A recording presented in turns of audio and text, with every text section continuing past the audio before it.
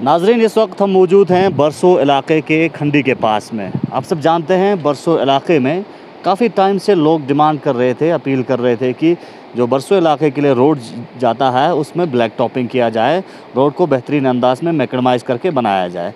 लेकिन अब पिछले दो साल से यहाँ के लोगों को एक राहत बड़ी खबर और राहत बड़ी काम देखने को मिला।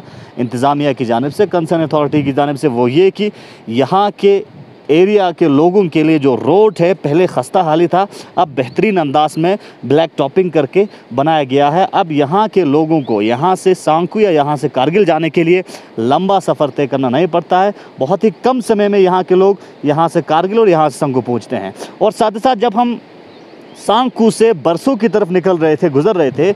उस वक्त रास्ते में एक चीज़ देखने को मिला। आप यहाँ पे देख सकते हैं ये जो मलबा है, वो पूरा नीचे गिरा है। वहीं यहाँ पे जब हमने देखा, जब इंतज़ामिया ने इस रोड को टेम्परेली सफ़ाई किया है, लेकिन यहाँ पे जब हम आ रहे थे तो यहाँ पे एक युवक मिला जो खंडी के रहने वाले हैं। वो अपने से इस रोड की सफ़ाई कर रहे थे। हमें बहुत अच्छा लगा। हम इन्हीं से जानना चाहेंगे कि उससे एक अहम चीज़ ये भी देखने को मिलता है, एक सबक मिलता है कि अगर छोटी मोटी चीज़ें रहती हैं तो वो इंतज़ामिया पे छोड़े बिना हम खुद अगर एज रिस्पॉन्सिबल सिटीज़न वो काम करें तो बेहतरीन एक मैसेज जाता है सोसाइटी के लिए, क्योंकि हम भी पार्ट है एडमिनिस्ट्रेशन का, हम भी पार्ट है सोसाइटी का। तो यहाँ की ये जो युवक है, ये लगातार सफ़ाई कर रहे हैं, इस रोड को अपने से सफ़ाई कर रहे हैं, और इससे ये पता चलता है कि यहाँ के लोगों को इस रोड की कितना अहमियत है, और इस रोड को साफ़ सफ़ाई करके रखने के लिए रखने से यहाँ के लोगों को कितना फ़ायदा मिल सकता है। यहाँ के इस युवक से हम जानना चाहेंगे जनाब आप कब से इस रोड की सफ़ाई कर रहे हैं?